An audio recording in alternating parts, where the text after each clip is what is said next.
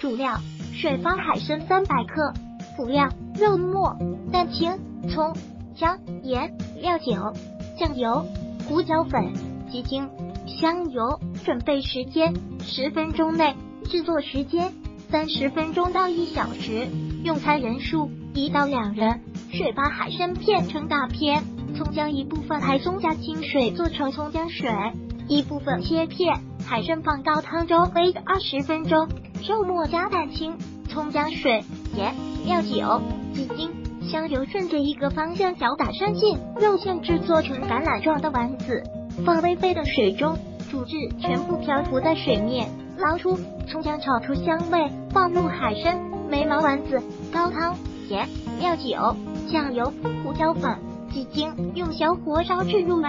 OK，烹饪技巧：优质海参餐体为黑褐色，鲜亮，呈半透明状，餐体内外膨胀均匀，呈圆形状，肌肉薄厚均匀，内部无硬心，手持身的一头颤动有弹性，肉质完整。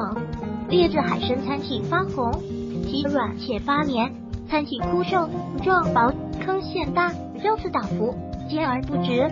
如果喜欢本视频，请订阅本频道。